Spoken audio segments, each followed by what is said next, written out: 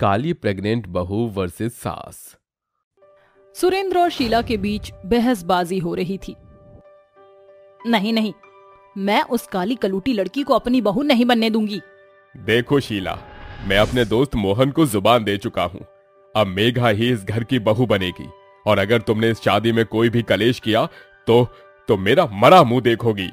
सुरेंद्र के इस कहे पर शीला और उसका बेटा चेतन चुप कर जाते हैं जिसके बाद मेघा और चेतन की शादी हो जाती है।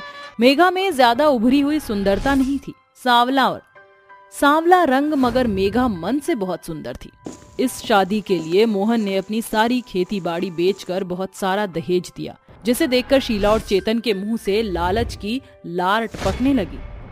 आजा मेघा बहू, तुझे यहाँ किसी से दब कर या डर कर रहने की कोई ज़रूरत नहीं। तेरे बाबूजी तेरे साथ है। सुरेंद्र मेघा का स्वागत करता है। दिन बीतते हैं मगर मेघा के काले रंग के कारण उसकी सास और पति दोनों उससे खिंचे खिंचे रहते। उस घर में सिर्फ़ सुरेंद्र ही था जिसे मेघा के दुख खुशी की पड़ी थी। बाऊजी ये लीजिए चाय।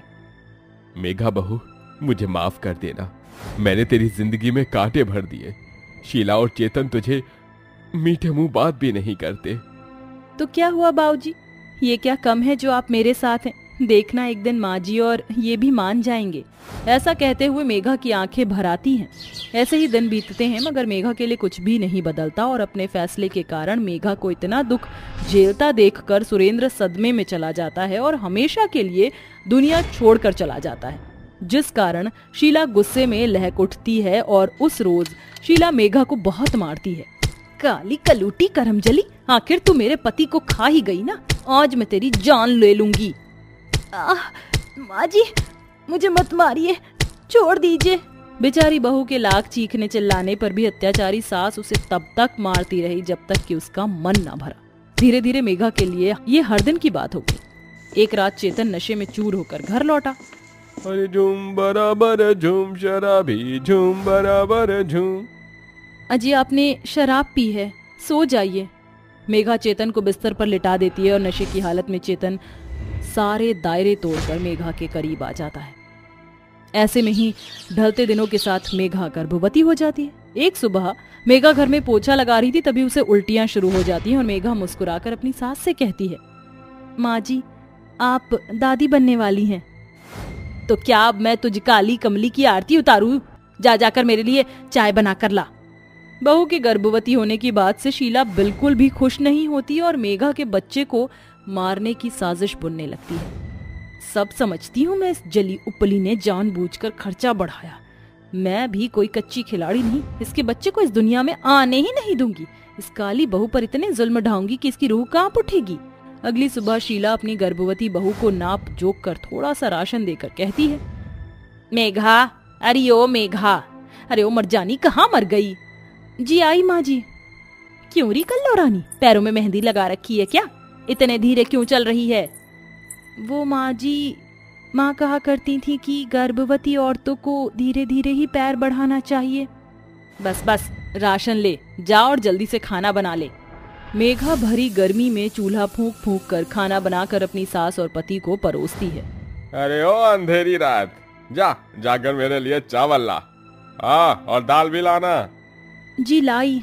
इसी तरह चेतन और शीला के खाने में ही सारा खाना खत्म हो जाता है, तभी मेघा अपनी सास से राशन मांगते हुए कहती है, माँ जी, थोड़ा सा राशन दे दीजिए, खाना खत्म हो गया है। इतने पर शीला बड़ी ही बेरहमी से अपनी गर्भवती बहू के बाल खींचते हुए उसे सुनाना शुरू कर देती है। क्यों री काली चुड़ैल, तेरे बाप ने क्या मेरे घर में राशन कोटा खोला है क्या? और एक दिन नहीं खाएगी तो मर नहीं जाएगी। चल भाग यहाँ से। ऐसा कहकर अत्याचारी सास अपनी गर्भवती बहू का सर दीवार से लड़ा देती है। जिससे मेघा के सर से खून बहने लगता और बेचारी बहू अपनी बुरी किस्मत पर रात भर रोती रही। हे भगवान, और कितने दुख झेलना बाकी रह गया है। मेरा भगवान, मुझ जैसी किस्मत किसी को मत देना।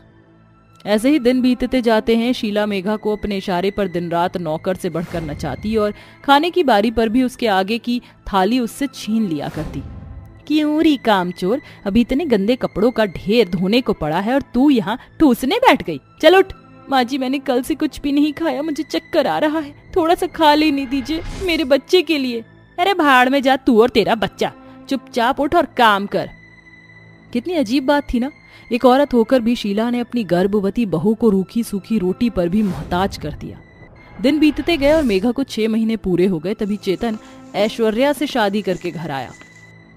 अरे, चेतन कौन है ये? माँ, ये ऐश्वर्या है, आपकी बहू। अरे वाह, चेतन बहू तो चाँद का टुकड़ा है। चल मेरी काली बहू, अब तेरे जाने की बारी आ गई। नहीं नहीं माँ जी, मुझे घर से मत निकालिए, मैं ऐसी हालत में कहाँ जाऊँगी? जा, जाकर डूब मर। वैसे भी तुझ जैसे काले लोग इस समाज के लिए श्राप हैं और फिर तेरा बच्चा भी कौन सा तुझसे अलग होगा? ऐश्वर्या के आते ही शीला ने अपनी काली गर्भवती बहू को घर से निकाल फेंका। मेघा का मन पूरी तरह से बिखर गया, अब उसका पति ऐश्वर्या का हो चुका था और ससुराल का घर आँगन भी उससे छूट चुका था। हालातों ने मेघा को छठे महीने पर मेहनत करने के लिए ईट की भट्टी पर धकेल दिया जहाँ भट्टी का मालिक शंभू से कहने लगा बेटी तुम गर्भवती हो। ऐसे में ईट ढोना तुम्हारे बच्चे के लिए खतरे से खाली नहीं है। काका ऊपर वाला है ना अब वही मुझे और मेरे बच्चे को संभालेगा। एक तरफ़ जहाँ गर्भवती मेघा भरी गर्मी में ईट की भट्टी पर सुबह से लेकर शाम के सूरज ढलने तक ईट ढोती, और मन ही मन भगवान से अपने बच्चे की सलामती की प्रार्थना करती, वहीं ऐश्वर्या ने दूसरे दिन से अपना रंग ढंग दिखाना शुरू कर दिया। अरे ऐश्वर्या बहू, तू कहीं जा रही है क्या? हाँ वो मैं किटी पार्टी में जा रही हूँ। तो फिर खाना कौन बनाएगा? क्यों माँ जी, आपके घर में बैठे बैठे झक मारोगी? खुद बनाओ और खाओ। ऐश्वर्या किसी के बाप की नौकर नहीं जो भरी गर्मी में गर्मा गर्म रोटियाँ सेक कर आपको खिलाए। समझी सासू जी हाँ ऐश्वर्या ऐठ झाड़ कर चली जाती है और शीला को खुद ही खाना बनाना पड़ता है। ऐसे ही दिन बीतते हैं, मगर ऐश्वर्या कोई काम नहीं करती। ऐसे में सारा काम शीला के सर पर आ पड़ता है। दिन भर काम करने की होड़ में शीला भूखी रह जाती जिससे उसका शरीर गलने लगता है और एक दिन शीला चक्कर खाकर बेहोश हो जाती है। जब चेतन घर आता है तो शीला को बिस्तर पर लेटाता है और होश में आते ही शीला फूट फूट कर रोने लगती है। क्या हुआ माँ? तुम रो क्यों रही हो? कुछ हुआ है क्या? शीला रोते हुए चेतन के सामने सारी बात रखती है जिसके बाद चेतन ऐश्वर्या पर हाथ उठाता है। मुझ पर हाथ उठाने की गलती भूल से भी मत करना चेतन। मैं मेघा नहीं हूँ जो तुमसे और तुम्हारी माँ से मार खाऊँगी समझे? चली जाओ मेरे घर से। जा रही हूँ और वैसे भी अब मैं यहाँ रहना भी नहीं चाहती। ऐश्वर्या वहाँ से चली जाती है, जिसके बाद चेतन और शीला अपने किए पर पछताते हुए मेघा को ढूँढने निकलते हैं और भट्टी पर आ पहुँचते हैं, जहाँ मेघा नौवे महीने में ईंट ढो रही थी। ये देख चेतन उसके पैरों में गिर अपनी गलती की माफ़ी माँगता है। मेघा मेघा मुझे माफ़ कर दो। मैंने और माँ ने तुम्हारे साथ बहुत गलत किया। मगर अब हमें हमारी गलती का एहसास हो गया है। घर चल बहू, हम तुझे लेने ही आए हैं। मैंने बस तेरे ऊपरी चेहरे को देखा। काश की एक बार तेरे मन में झाँक कर देख लिया होता। चल बहू। माँ जी आप मुझसे माफ़ी मत मांगिए। आप मुझसे बड़ी हैं। शायद ये सब मेरी किस्मत में ही होना लिखा हुआ था। मुझे आप दोनों से कोई गिला नहीं। आखिर में मेघा अपने पति और सास के साथ घर चली जाती है और कुछ दिनों बाद एक सुंदर से बेटे को जन्म देती है। और सभी खुशी खुशी रहने लगते हैं।